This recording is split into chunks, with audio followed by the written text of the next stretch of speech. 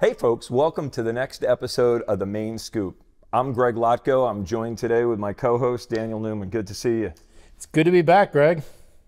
Fun conversations. We always have a good time.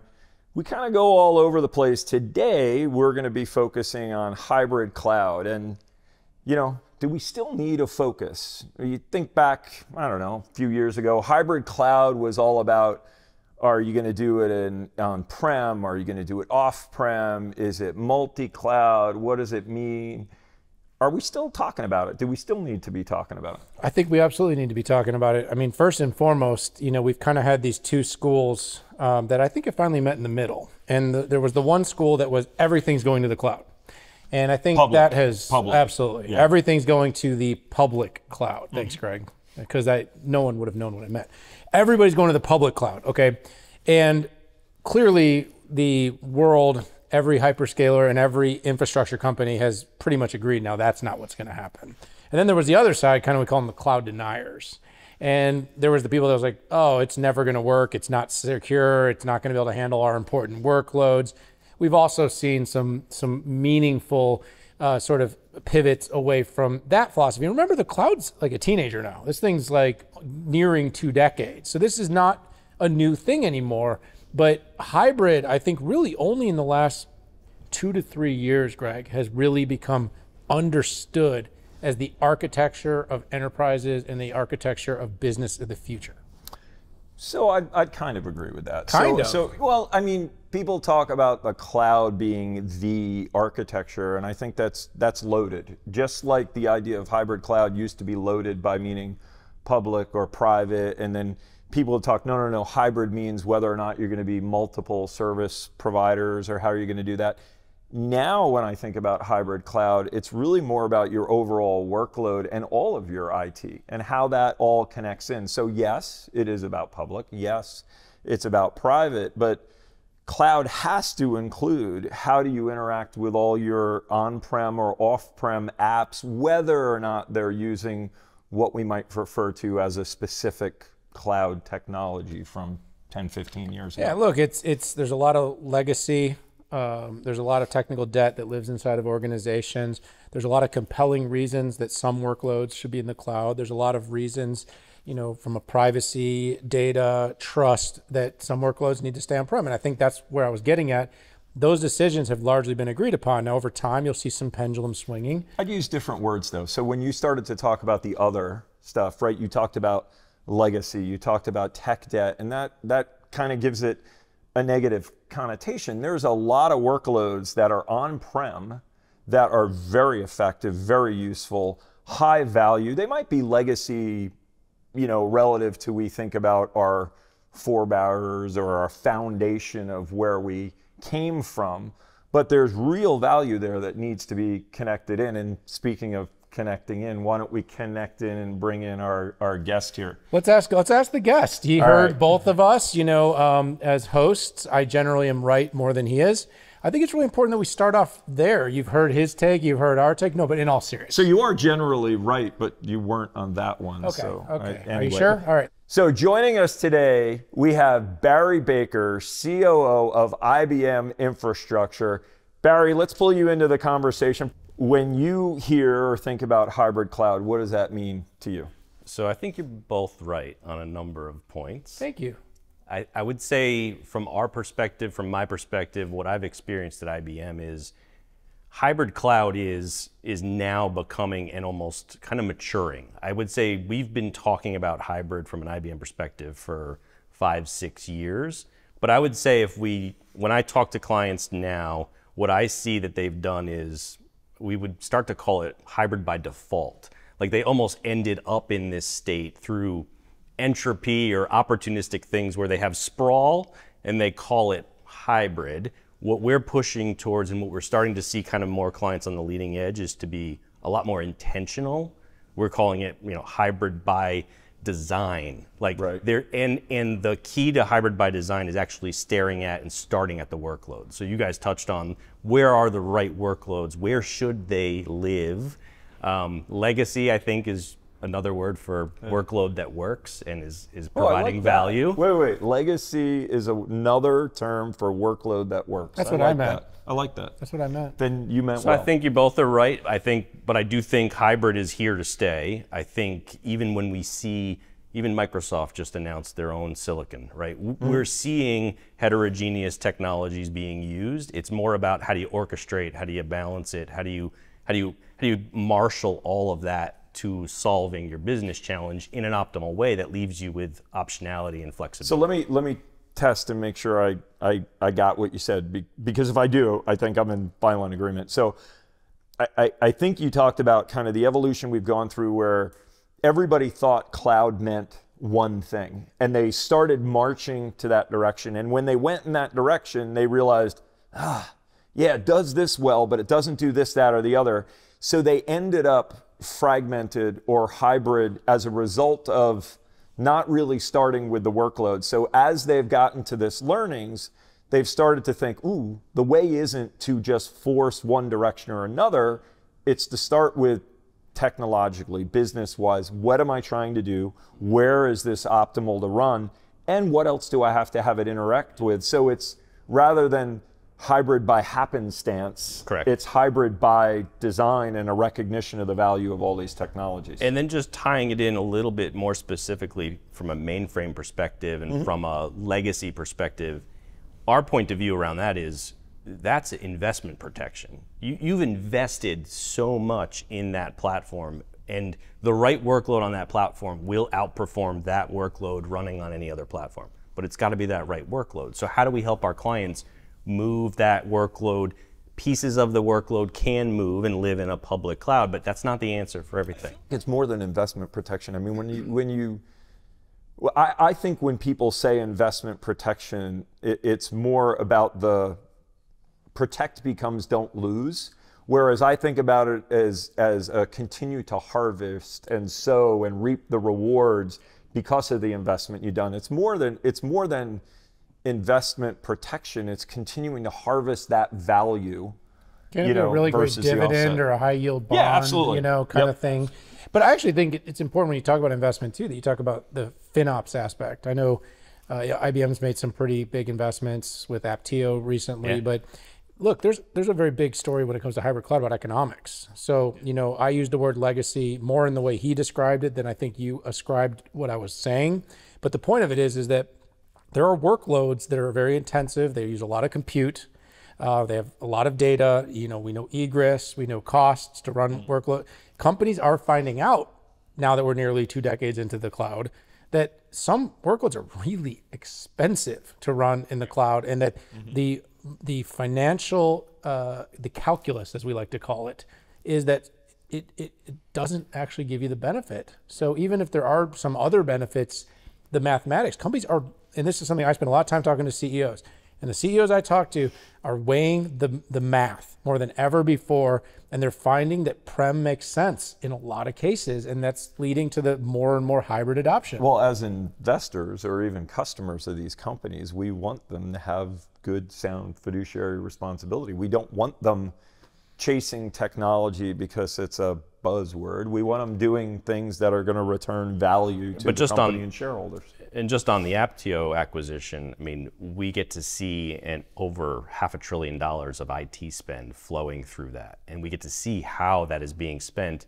And it actually starts to you pull that back and say, well, what do you then do with that? Well, well, then what you do with that is you actually start to look at particular workloads and help clients say, this isn't the optimal place. Here's the patterns we here's, see. Here's where you could be going and you know get a return. Speaking of kind of technical wonderment, though, I do want to, to jettison into the future because one of the interesting inflections around uh, hybrid and hybrid cloud is generative AI. So we're seeing companies talking about private AI and gener- generative. You're seeing kind of hybrid AI talk, and you're also seeing some companies, you know, just on the other side of the equation, going as far as saying we're only going to put our most capable features for generative AI in the public cloud you know, Barry, I'd love to get your take on kind of like is uh, do you see generative AI as a forcing function?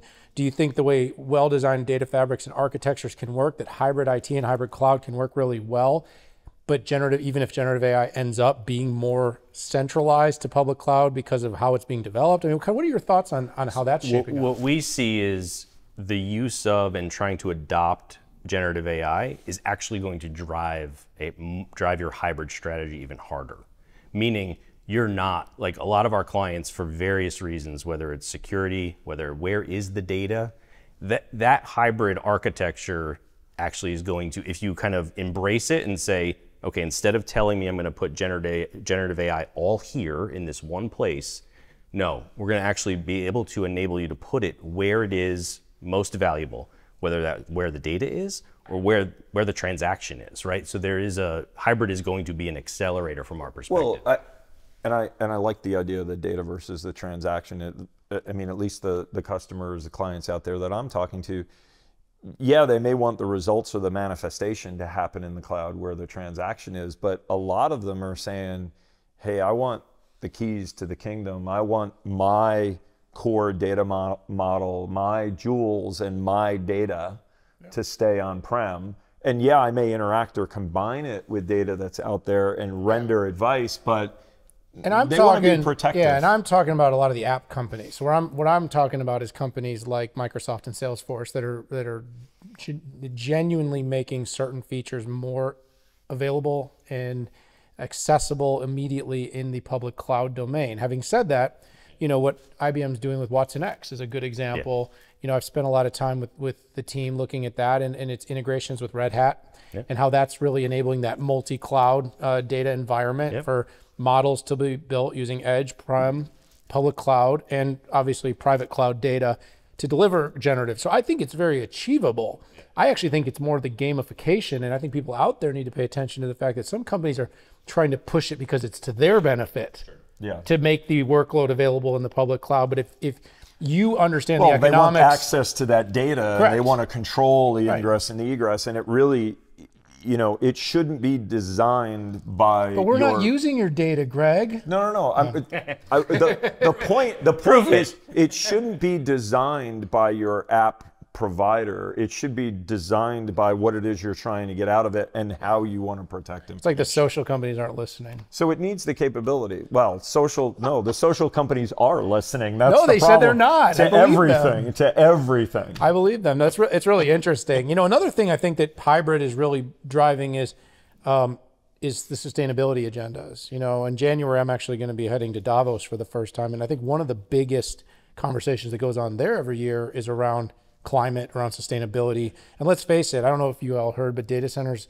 because of the uh, growth of generative AI, are going to go from I think one to now two percent of all the world's power is going to be consumed in the data centers. And I mean, that might not sound like a lot, but that's growing, that's an exponential growth on a one year to one year basis. Um, and with, you know, everything from cars to, you know, edge clouds to, you know, more powerful PCs, more compute, more compute, more compute. That's more electricity, more power.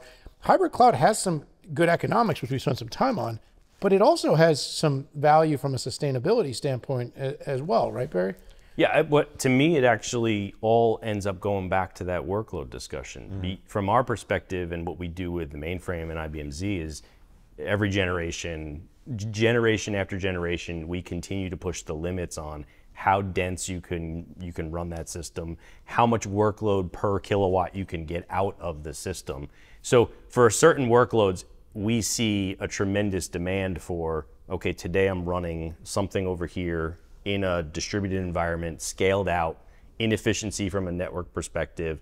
How can we leverage the strengths of the platform from a sustainability perspective to consolidate more and more workloads? We see a lot of that with LinuxONE, a lot of that with modern databases landing on the technology and driving that agenda from a sustainability I perspective. mean, seriously, from a from a hardware and a software perspective, and from a software perspective, we focus a lot of our time on the most sustainable, efficient platform on the planet, and you know that that's a really big thing relative to the tie-in to hybrid cloud, where your data is, having a high-speed connection to it, and interacting and architecting the workload appropriately. You can get that effectiveness and efficiency. You can tie in some of these other models and capabilities, put the right workload where it needs to be, connected in effectively through APIs, high-speed connects, and all that you manifest yourself then out to your customer base effectively, efficiently, and I mean efficiently meaning very green,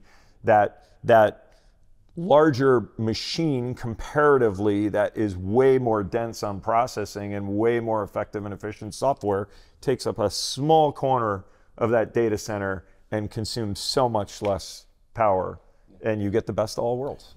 Yeah, from a silicon standpoint too. I mean, you mentioned uh, you mentioned what they're doing with Maia and I think Cobalt this week, and AWS has a decade now into its own silicon design, and of course, every company, you know, ARM has has had a, a massive uh, rise in visibility. It's kind of opened up the floodgates to companies building their own ASICs, their own, you know, their own SoCs and designs and, and, and compute platforms. And, and if you listen to what it is, a lot of it is the three things we've been talking about with hybrid cloud. There's a very close alignment. It's performance, which is a big reason you think about hybrid cloud. Yep.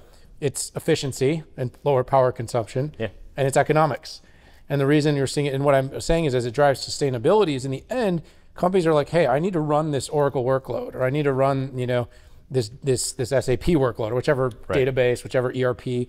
Um, if we can run it on two or three different, you know, uh, different versions of silicon instances, and one is much lower cost, it's lower power, and it's more performant. That's the way things are going to move, and I think that's really when, in the end, I know I'm trying to maybe oversimplify, but that's the story of hybrid cloud. Absolutely. Well, it, it, you want you want the freedom and flexibility to put the workload wherever you want, just so that you leave open the opportunities and the choice. But then you do want to comparatively see how they perform, how much energy Right. they consume, and all that, and then you make your decisions about the economics versus the performance. Something that doesn't have to perform fast. You might say, oh, I'm going to go to a lower cost server or this provider or that. Something that you need top performance, maybe you're going to pay a little bit more for that, but it's really about the whole. We're using a database. I think you're mentioning every one of these things is a different vector. Is that a good database joke? Uh, it's one vector or another. But in the end, I think it is and. I mean, we are trying as IT leaders to replace the word or with and. I don't have to choose performance or Yeah. low power, right? So I was just meeting with one of the mainframe's CIOs, one of our largest clients, and and I've worked on the platform for two decades, and I've had conversations over those two decades with clients, and by and large, it's always been a how do I move off? How do I do this? How do I move to that that? But the and question is now what the what the conversation is all about. They see Microsoft coming out with silicon. They see and they they recognize that okay, there are workloads that I need to a full stack approach to, and they are coming at us now saying, "Tell me what is the re- the best workload Yeah. for this platform." And that's the conversation at this point. It's not a Well, and part of this is we've watched in our careers Yeah. this pattern play out time after time with each new technology was going to be the panacea and the be all end all and none of them ever was they all had a core strength or something they were strong at i mean that's that's why they were invented Yep. but they didn't do everything so i mean you don't grab a screwdriver to bang in a nail you you use the right tool for the right job so, so if they don't do everything, then you want an option that is hybrid. we're right back at the beginning. How about them apples? It is all about hybrid, I, and that's exactly what I was going to say. I, you can bring us home, but I, I, I, what you see here is we're all in violent agreement. How about them apples? Yeah, that was that was a good one. Well, Barry, before we run off, because I, I do want to, Yeah. we do have to wrap up here, but just love to get your quick take on kind of what are the big trends that you uh, you and the team at IBM are paying attention to moving forward when it comes to hybrid cloud. So I would actually say it, let's talk about generative AI for a second because it, it's hybrid, but it's about generative AI in the context of the platform. So what we're working on with Watson Code Assistant for IBM Z is essential for where our clients are trying to modernize their applications on the platform. That is that is capability that can consume and understand hundreds of millions of lines of your COBOL code and then help you under, help an application developer figure out how to use it, how to modernize it, potentially even translating it into another language that's optimized for the platform. So from an investment perspective and where our focus is right now, it's how do we leverage generative, generative AI in the context of hybrid to help our clients modernize on the platform. Huge focus. Well, Barry, I appreciate you taking some time spending it here with Greg and I. Thanks Great for having me. conversation, Yeah. even a little debate. Uh, you know, a debate that ended up in violent agreement. Let's a do good it again debate. soon, Barry. Thank you. Pleasure having you. All right, everybody, you had it here. We talked a little bit about hybrid cloud, and once we got over the definition of legacy, we realized that Greg and I did agree on more things than we disagreed on. Now, when the cameras come do. off, I can't tell you what's about to happen, but we do appreciate you tuning in because these trends are really important. We are going to see generative AI, sustainability, both be things that are going to drive the future here. But what we do know for sure is this hybrid cloud, multi cloud era is in full effect. But for this show, for the main scoop, for Greg Lotko and myself, we'd love you to hit that subscribe button and join us for all the future shows. But we're going to say goodbye for now. We'll see y'all later. See you next time on the main scoop.